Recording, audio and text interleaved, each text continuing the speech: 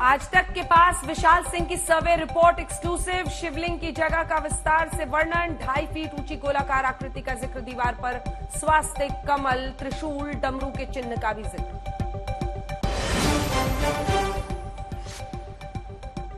ज्ञानवापी पर supreme court में कल होगी सुनवाई। हिंदू पक्ष के वकील विष्णु जैन ने कुछ और सबूत मिलने का किया दावा। वैसी का पलटवार, सर्वे रिपोर्ट लीक होने पर उठाया सवाल।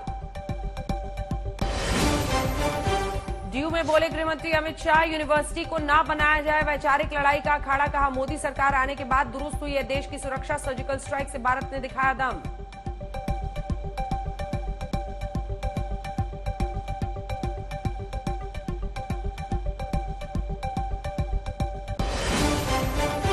राजस्थान विधानसभा चुनाव की तैयारी में जुटी बीजेपी चिंतन शिविर के लिए जयपुर में जेपी नड्डा, कल पीएम मोदी का होगा वर्चुअल संबोधन, जीत का फॉर्मूला तैयार करने पर मंथन।